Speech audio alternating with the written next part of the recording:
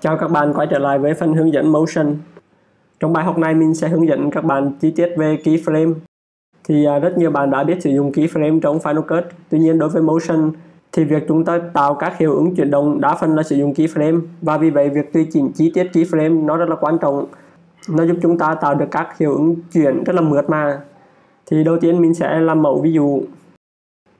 Đầu tiên thì mình sẽ vẽ một hình vuông, mình giữ phím shift, mình kéo mình đưa con trỏ chuột về vị trí đầu tiên. Sau đó ở phần position mình sẽ đến một keyframe mình đến khoảng 15 frame. Mình sẽ cho hình vuông này di chuyển sang bên phải.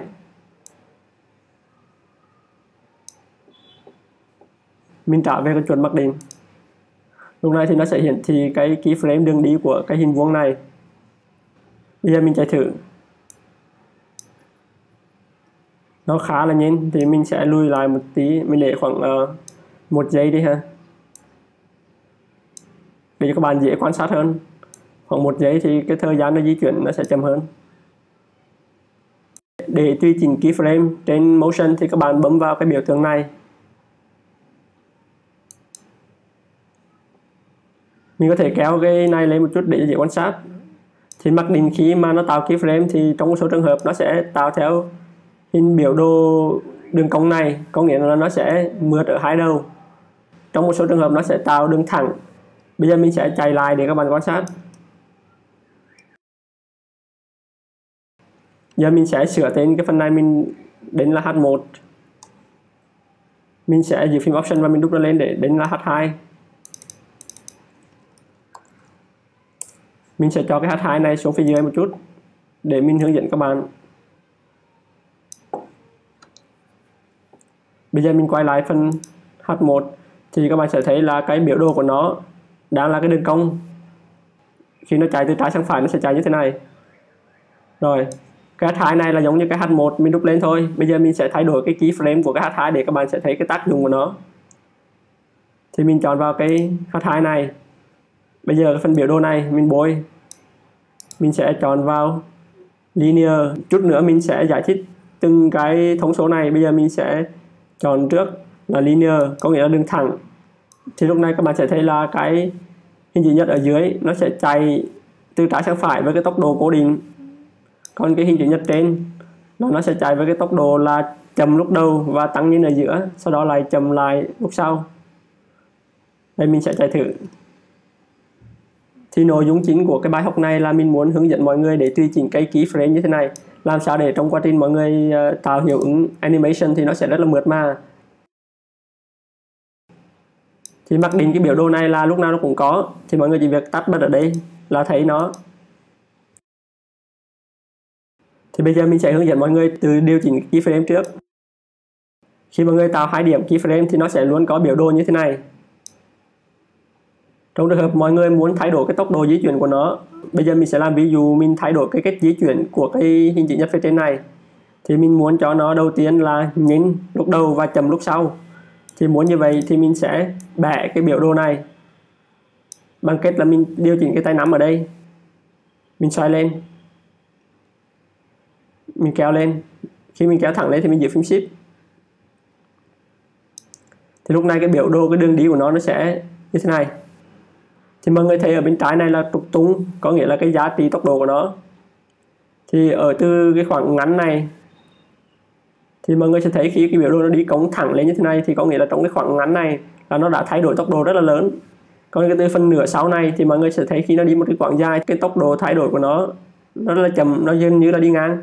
Vì vậy khi cái hình vuông của mình đi thì nó sẽ đi rất là nhanh ở đoạn đầu. Đây. Mình sẽ chạy lại đó nó đi rất là nhanh và nó sẽ đến gần đấy thì nó sẽ chậm từ từ. Còn cái dưới này thì nó vẫn đi theo đường thẳng thì là tốc độ nó đi đều. À, mọi người hình dung được cái vector này là như vậy. Đối với mình thì khi mình tạo bất kể cái keyframe chuyển nào thì thông thường mình đều phải có thêm một cái thao tác là tùy chỉnh cái biểu đồ keyframe này để làm sao nó di chuyển theo cái ý mình muốn. Thì khi mọi người xem những cái animation chuyên nghiệp thì người ta sẽ luôn chỉnh cái tốc độ của nó rất là mượt mà bằng cách là tùy chỉnh hai cái đầu này. Rồi bây giờ mình sẽ làm ngược lại mình cho cái này xuống dưới. Thông thường thì mọi người phải cầm và quét như thế này thay vì nhấp vào tại vì khi nhấp vào thì nó sẽ làm xế dịch mất cái keyframe nó sẽ lên lệch. Nên thường người ta sẽ quét như vậy. Khi mỗi cái thanh này nằm ngang thì mọi người giữ phím thêm ship, shift nó sẽ nằm ngang. Đó bây giờ cái thanh này nó sẽ đổi lại như thế này thì nó sẽ đi chậm lúc đầu và nhanh lúc sau. Đó chính là như vậy. Đây là trong trường hợp các bạn kỹ và các bạn cần tùy chỉnh tay còn uh, ờ, motion nó đã có tùy chọn riêng cho mình. Thì cách để lựa chọn những cái loại biểu đồ mặc định keyframe của motion thì mọi người chỉ việc quét cả hai keyframe này. Sau đó mọi người chọn một trong hai cái điểm này mọi người nhấp chuột phải. Thì thông thường mình sẽ chọn cái mà mình sử dụng phổ biến nhất và nhanh nhất tiết kiệm thời gian nhất là mình sẽ nhấp chuột phải và mình chọn Expose nó sẽ có biểu đồ hình chữ S như thế này. Là nó sẽ tạo hiệu ứng mượt ở hai đầu. Rồi cái tiếp theo là cái thứ hai là linear linear chính là cái đường thẳng, thì có nghĩa là nó sẽ chạy đều. Và cái thứ ba là cái Bezier, thì chính là cái tay nắm. Thì khi các bạn chọn Bezier thì trên mỗi cái này nó sẽ có một cái tay nắm như mình đã hướng dẫn ở trước. Đó là các bạn cầm vào tay nắm này để tùy chỉnh. Thì thông thường ba loại này là ba loại phổ biến nhất. Đó, như vậy thì nó sẽ mượt hơn một chút nữa thì thực ra cái keyframe nó rất là đơn giản như vậy thôi. Trong trường hợp mà các bạn có nhiều keyframe mình lấy ví dụ bây giờ mình sẽ cho thêm một keyframe thứ hai. Và mình sẽ cho nó xoay.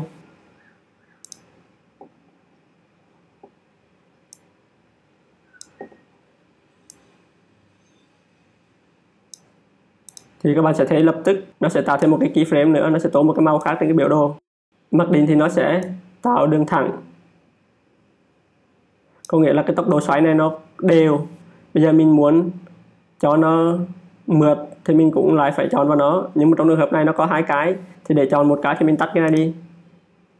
Thì các bạn bối hai cái này và mình sẽ nhấp chuột phải. Và mình chọn ease có nghĩa là cái tốc độ xoáy của nó cũng mượt dần. Bây giờ mình bật cái keyframe set này lại lại.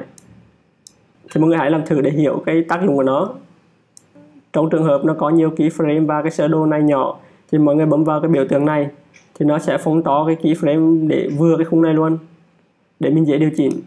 Thì lúc này là cái keyframe này nó đã phóng to hết toàn bộ cái diện tích để mình điều chỉnh.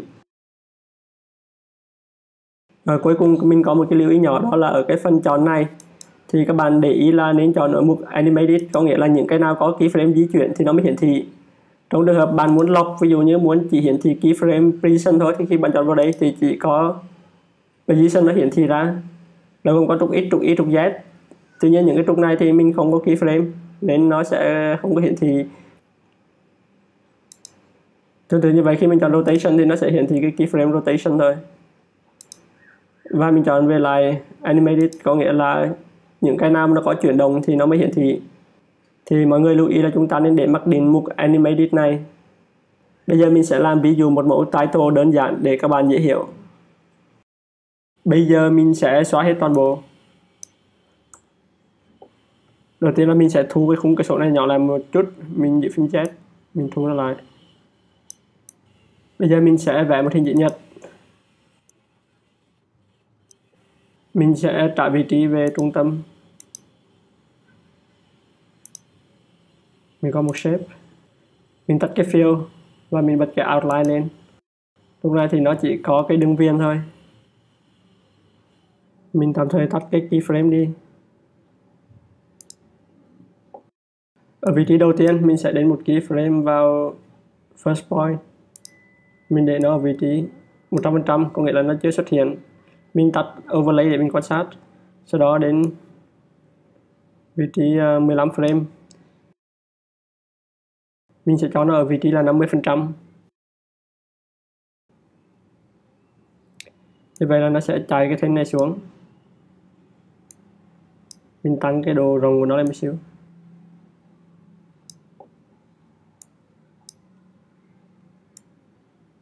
Bây giờ mình sẽ bật cái keyframe lên.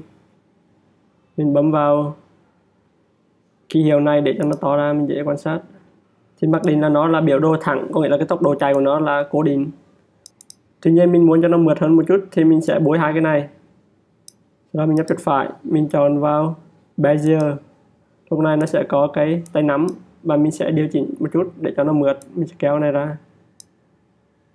Từ từ cái trên này mình bối mình kéo. Thì nó sẽ tạo cái hiệu ứng là lúc đầu nó chậm, ở giữa nó nhanh và đến cuối nó sẽ chậm lại, nó sẽ mượt hơn. Mình thấy 15 frame hơi nhanh. Mình uh, lùi cái keyframe này một chút. Mình tắt cái này đi. Mình zoom nhỏ lại. Mình đến khoảng một phút đi. Mình kéo này ra. Thì lúc này cái tốc độ nó chậm hơn một chút. Mình lại chọn vào biểu từ đồ keyframe mình thấy nó chưa mượt lắm. Mình lại cầm cái này. Mình tùy chỉnh. Thì trong quá trình bạn làm thực tế thì nếu bạn thấy chưa phù hợp thì bạn điều chỉnh thêm. Ví dụ như trong trường hợp này mình sẽ kéo cái rồng cái đuôi này ra một xíu thì để cái quá trình chuyển nó sẽ mượt hơn ở cái lúc nó kết thúc, mình chạy lại. Như vậy là quá trình nó, đến điểm sau này là nó đi chậm hơn và nhìn nó sẽ tự nhiên hơn.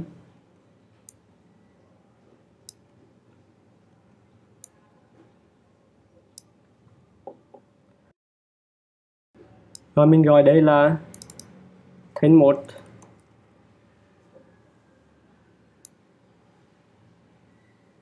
Bây giờ mình sẽ đúc cái thanh này lên. Mình sẽ làm là thanh hai. Mình kéo này ra một xíu. Thì cái thanh hai này mình sẽ đổi màu cho nó. Mình sẽ cho nó sang màu cam đi. Lúc này là cái thanh hai này nó sẽ đang nằm trong lên cái thanh một. Bây giờ mình chỉ việc là đẩy cái thanh hai này lùi một xíu thì vậy là nó sẽ tạo cái hiệu ứng là cái thính số 2 này sẽ ra sau thính số 1 rồi bây giờ mình sẽ tạo một cái text.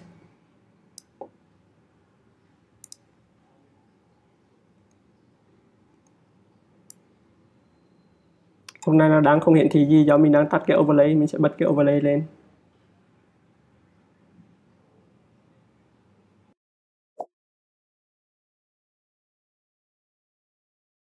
Mình sẽ cho nó nằm ở giữa.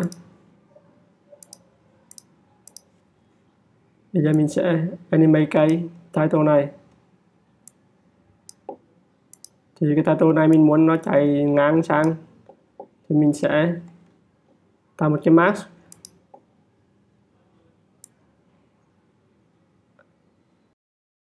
Như thế này là đủ rồi. Mình gọi đây là mask. Ở đây mình gọi là title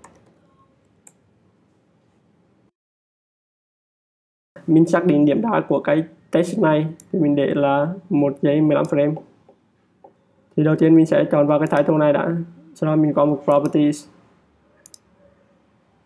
Mình đến một keyframe sau đó ở vị trí trước này. Mình sẽ cho nó chạy ở khoảng 10 frame bắt đầu chạy. Thì mình kéo trục x sang bên trái.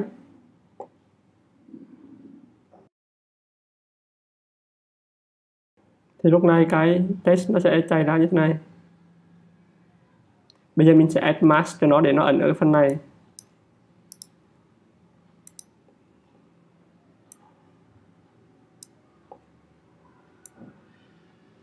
Như vậy là cái test của mình nó sẽ chạy ra như vậy.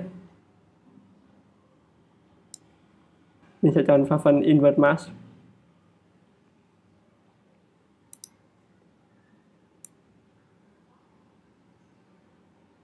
Lúc này thì cái test đang nằm phía trên. Vậy thì mình đưa nó xuống dưới hai cái thẻ này.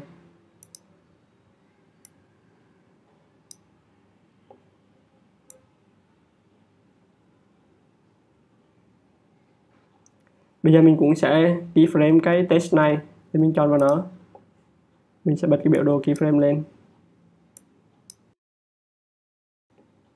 Thu ngắn nó lại một xíu. Thì bây giờ mình muốn lúc nó đến vị trí cuối thì nó sẽ chậm lại một chút. Thì mình sẽ chọn cái trên này. Và mình giữ phím shift, mình kéo sang trái. Như vậy thì quá trình nó đi, nó sẽ đến, đây nó sẽ hơi nhanh và khi gần kết thúc thì nó sẽ chậm lại. Mình sẽ chạy thử đó, cảm thấy rất là mượt mà. Bây giờ mình bấm shift Z để thu ngắn cái timeline lại.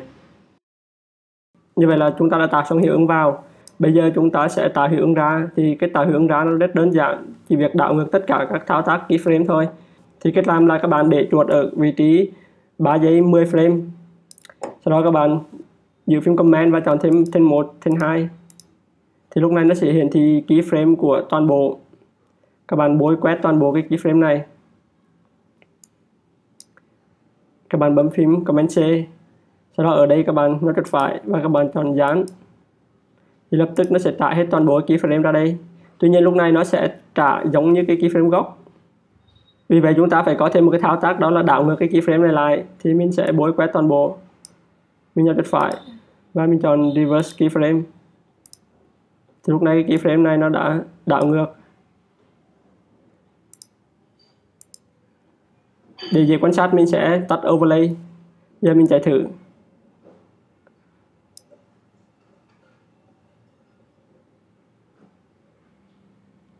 Rồi, nó có hai vấn đề. Vấn đề thứ nhất là cái chữ keyframe này nó ra hơi bị chậm, có nghĩa là cái thanh này nó đã rút lên đấy rồi. Thì cái chữ keyframe này nó mới chạy chưa hết. Thì chúng ta lại phải điều chỉnh cái à, biểu đồ keyframe làm sao để cái chữ nó ra nhìn hơn. Khi các bạn đã hiểu nguyên lý thì cái làm rất đơn giản. Đó là bây giờ chúng ta sẽ thay tốc độ của nó, thì cái màu xanh này chính là cái title keyframe tương ứng tên này là biểu đồ màu xanh. Thì chúng ta sẽ bẻ cái thanh này xuống. Tuy nhiên lúc này nó có một vấn đề là nó là điểm giữa nên nó sẽ có hai cái tay nắm. Như vậy là bạn sẽ thấy là nó sẽ bị nhảy cái chữ. Mình không muốn như vậy, mình back lại. Mình chỉ muốn điều chỉnh cái tay nắm bên này thôi, và cái phần bên này vẫn là đường thẳng, có nghĩa là cái vị trí của nó không đổi. Thì mình chọn vào đây, mình nhấp chuột phải, mình chọn vào break tangent này thì lúc mình chọn vào đây rồi thì mình có quyền bẻ cái này và cái phần bên này nó sẽ cũng vẫn cố định. Thì mình sẽ chỉnh nó xuống. Thì lúc này là cái tốc độ của nó sẽ rất là nhín lúc nó ra và lúc nó ra gần hết thì nó mới chậm. Đây, mình sẽ chạy thử. Đó, như vậy là hơi nhanh. Mình sẽ kéo nó vừa thôi. Thì bạn sẽ thấy là cái tốc độ của nó nó sẽ ra trước khi cái thanh line này nó rút về. Nó đang bị lỗi một chút là cái thanh một này nó đang bị ẩn dưới cái thanh cam. Thì mình phải kéo cái thanh cam lùi lại một chút, có nghĩa là cho cái thanh cam này lùi vào sớm hơn. Thì mình lại tắt cái keyframe này đi. Mình chọn đến cái thanh hai, có nghĩa là thanh màu cam. Mình sẽ giữ phím command và mình chọn hai cái keyframe này. Mình để nó lùi một xíu. Thì lúc này là cái thanh này nó sẽ rút trước, cái thanh trắng. Thì mình có thể làm ở đây, hoặc mình cũng có thể làm ở bên trong phần biểu đồ keyframe thì để làm trong phần biểu đồ keyframe. Thì lúc này mình chỉ được chọn thanh hai thôi, lúc đầu nó có hai thanh thì các bạn sẽ thấy là nó sẽ thanh một nó chạy trước thanh hai, nhưng khi ra nó bị chồng lên nhau nên nó chỉ hiển thị một cái. Vì vậy chúng ta chỉ chọn vào cái thanh hai. Rồi bố hai cái này, chúng ta giữ phím shift chúng ta đẩy sang một xíu. Mục đích giữ phím shift để nó tránh bị lệch lên, lệch xuống. Đó, như thế này là sớm hơn một xíu. Rồi bây giờ chúng ta chọn lại cả thanh một thanh hai. Thì lúc này bạn sẽ thấy là cái biểu đồ của nó là cái thanh cam ra trước. Bây giờ mình chạy lại.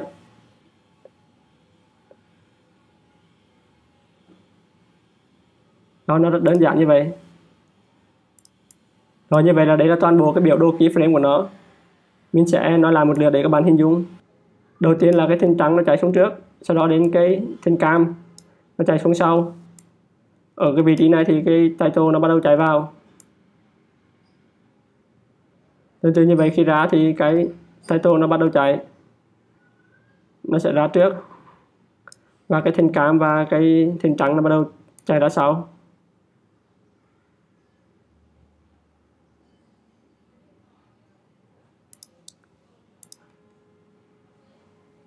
Thì mình sẽ tắt cái biểu đồ keyframe đi.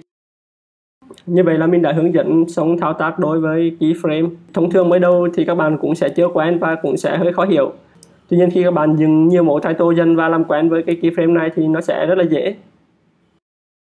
Cảm ơn các bạn. Bài học hôm nay đến đây là kết thúc.